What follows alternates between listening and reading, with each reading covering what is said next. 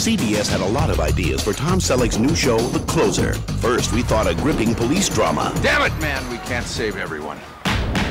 Or perhaps a courtroom drama. Damn it, man, we can't save everyone. We even considered a medical drama.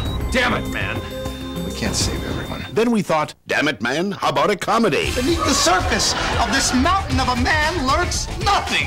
Ah, stop, you're making me misty. Don't miss Tom Selleck's new comedy, The Closer, premiering Monday after the games.